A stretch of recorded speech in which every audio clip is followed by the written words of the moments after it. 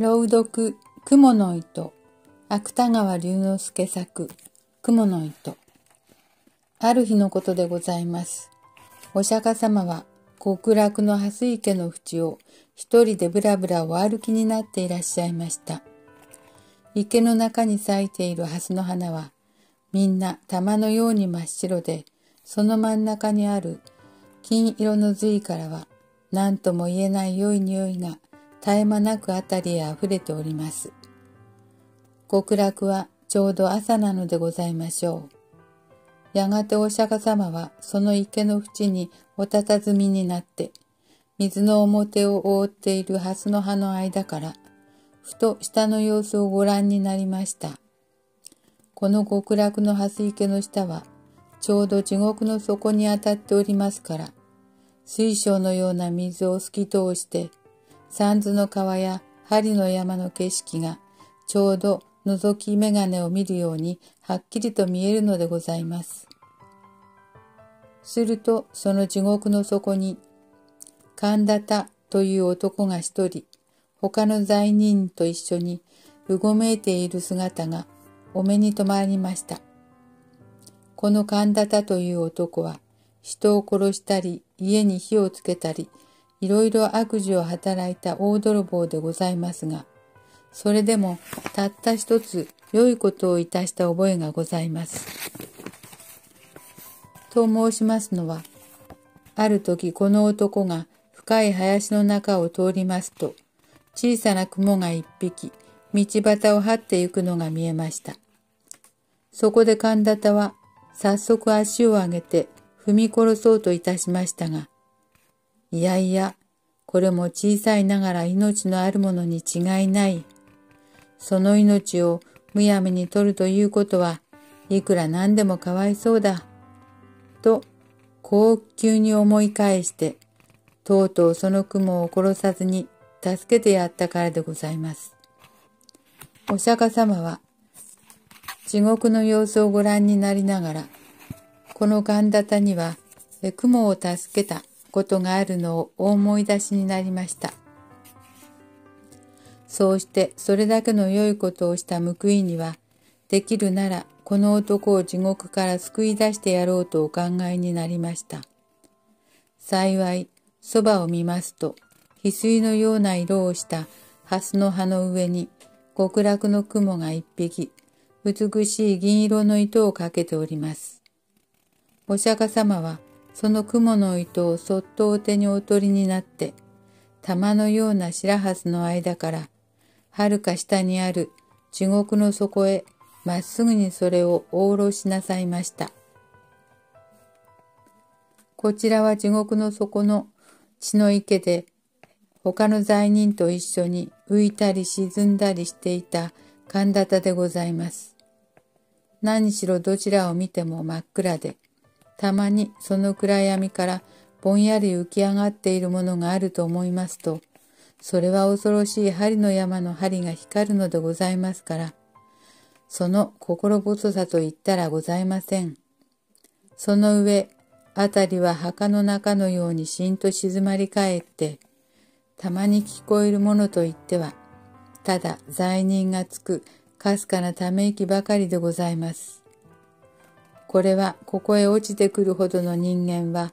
もう様々な地獄の責めくに疲れ果てて、泣き声を出す力さえなくなっているのでございましょう。ですから、さすが大泥棒の神田田も、やはり血の池の血にむせびながら、まるで死にかかった蛙のように、ただもがいてばかりおりました。ところがある時のことでございます。何気なく神田田が頭を上げて血の池の空を眺めますと、そのひっそりとした闇の中を、遠い遠い天井から銀色の雲の糸が、まるで人目にかかるのを恐れるように、一筋細く光りながら、スルスルと自分の上へ垂れて参るではございませんか。神田田は、これを見ると、思わず手を打って喜びました。この糸にすがりついて、どこまでも登っていけば、きっと地獄から抜け出せるのに相違ございません。いや、うまくいくと極楽へ入ることさえもできましょう。そうすれば、もう針の山へ追い上げられることもなくなれば、血の池に沈められることもあるはずございません。こう思いましたから神田田は、早速その雲の糸を両手でしっかりとつかみながら、一生懸命に上へ上へと手繰り登り始めました。元より大泥棒のことでございますから、こういうことには昔から慣れきっているのでございます。しかし、地獄と極楽との間は何万里となくございますから、いくら焦ってみたところで、容易に上へは出られません。ややしばらく登るうちに、とうとう神田田もくたびれて、もうひとたぐりも上の方へは登れなくなってしまいました。そこで仕方がございませんから、まず一休み休むつもりで、糸の中途にぶら下がりながら、はるかに目の下を見下ろしました。すると、一生懸命に登った甲斐があって、さっきまで自分がいた血の池は、今ではもう闇の底にいつの間にか隠れております。それからあのぼんやり光っている恐ろしい針の山も足の下になってしまいました。この分で登っていけば地獄から抜け出すのも存外わけがないかもしれません。神田田は両手を雲の糸に絡みながらここへ来てから何年にも出したことのない声で、閉めた閉めた、と笑いました。ところがふと気がつきますと、雲の糸の下の方には、数限りもない罪人たちが、自分の登った後をつけて、まるでアリの行列のように、やはり上へ上へ一心によじ登ってくるではございませんか。神田田はこれを見ると、驚いたのと恐ろしいのとで、しばらくはただ、馬鹿のように大きな口を開いたまま、目ばかり動かしておりました。自分一人でさえ切れそうな、この細い雲の糸が、どうしてあれだけの人数の重みに耐えることができましょう。もし万一途中で切れたといたしましたら、せっかくここへまで登ってきたこの肝心な自分までも元の地獄へ逆落としに落ちてしまわなければなりません。そんなことがあったら大変でございます。が、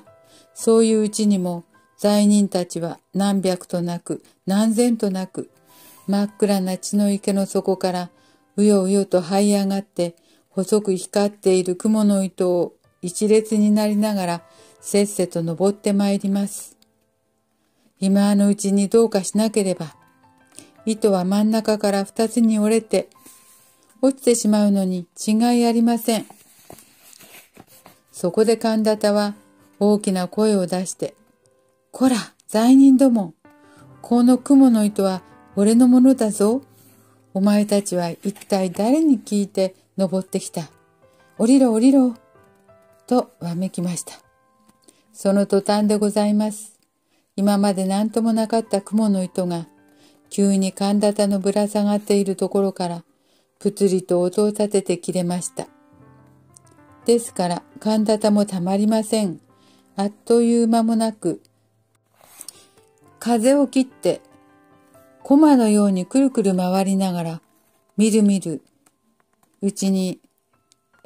暗闇の底へ真っ逆さまに落ちてしまいました。後には、ただ極楽の雲の糸がキラキラと細く光りながら、月も星もない空の中途に短く垂れているばかりでございます。お釈迦様は極楽の蓮池の淵に立って、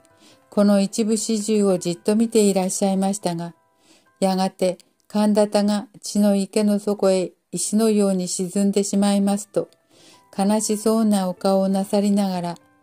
またぶらぶらお歩きになり始めました。自分ばかり地獄から抜け出そうとする神田田の無慈悲な心が